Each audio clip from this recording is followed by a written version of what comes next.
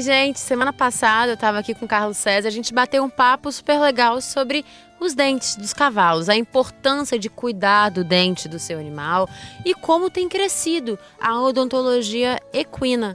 É muito importante, né, Carlos César? É muito importante, Aileen. É, a saúde do cavalo entra pela boca. Então é muito importante que seja feito tratamento odontológico periodicamente nos cavalos. A gente comentou que essa semana iria explicar para vocês sobre os dentes de lobo. O que seriam esses dentes de lobo? Os dentes de lobo são os primeiros premolares, eles são dentes rudimentares e de raiz curta. Então, esses dentes eles atrapalham bastante o cavalo a embocadura. Você falou dente de raiz curta. Conta aí pra gente qual é o tamanho de um dente de cavalo. Então, o dente do cavalo, quando ele nasce, tem aproximadamente 11 centímetros é, a gente só consegue observar em torno de um centímetro na cavidade, mas ele tem 11 centímetros durante, é, dentro da, da, da, da cavidade inteira. Tava falando do dente de lobo que ele tem a raiz curta. Explica por que, que esse dente com raiz curta poderia causar algum problema. É, na verdade ele causa problema principalmente para equitação, né, para montaria do cavalo. Para alimentação ele ele não causa tanto problema. Por causa do freio. Por causa do freio porque ele é de raiz curta, como eu havia dito. Então, qualquer movimento que você faça com a, com, a, com a embocadura do cavalo, com a rédea, você bate nesse cavalo, dá choque e o cavalo aprende a se defender. Então, é muito importante que seja feita retirada desse dente. E esse dente, ele nasce em todos os cavalos, todas as raças? Em todas as raças pode acontecer ou não. Não é uma coisa certa, esse cavalo vai ter dente de lobo. Não, não é uma regra, né? E quantos dentes de lobo tem um cavalo? Pode ter até quatro. O que, que é mais comum que você encontra aí? Geralmente a gente encontra dois na, na mandíbula. Dois são os primeiros premolares nas mandíbulas.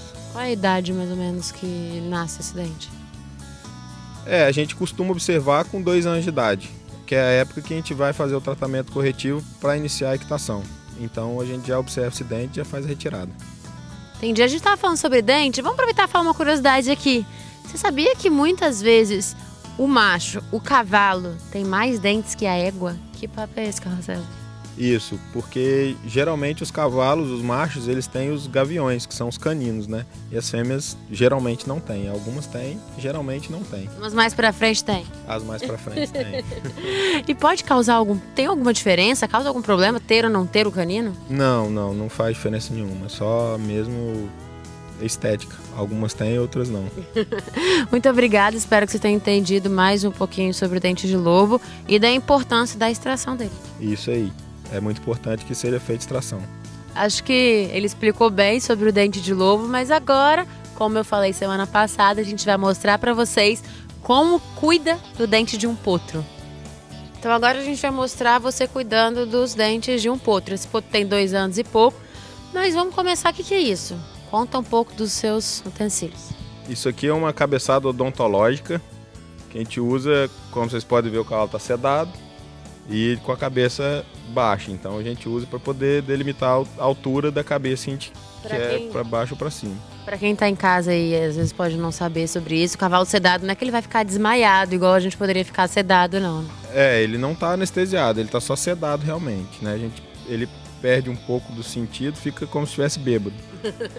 isso daqui seria o quê? Esse é um motor de suspensão que a gente encaixa aí a caneta para fazer o procedimento odontológico. A caneta? A caneta tá ali.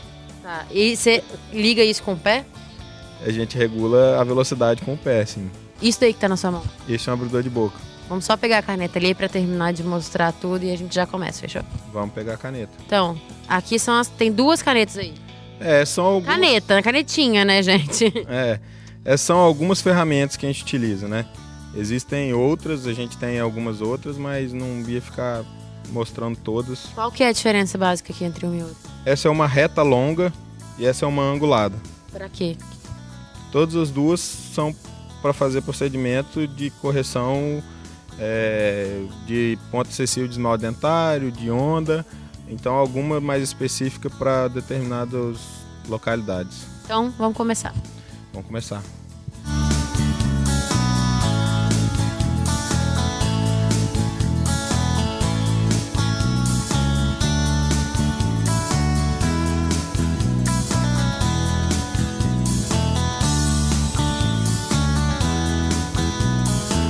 Agora já abriu a boca do cavalo com o abridor de boca. Ele está suspendendo o pescoço do cavalo para facilitar o trabalho. Por isso que o cavalo precisa estar tá sedado, ele conseguir manusear desse jeito. São as pontas excessivas, princípio de um gancho. Aqui onde está o pontando, ó.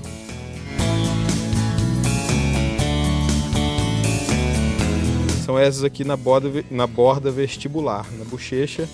Essas aqui ó, são as pontas excessivas de esmalte dentário.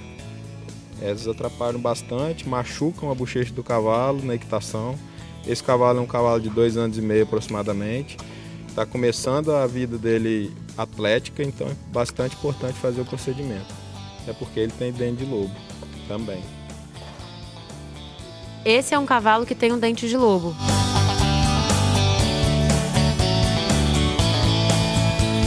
Do lado esquerdo do cavalo, aonde o Carlos César está com o dedo, essa pontinha é o dente de lobo.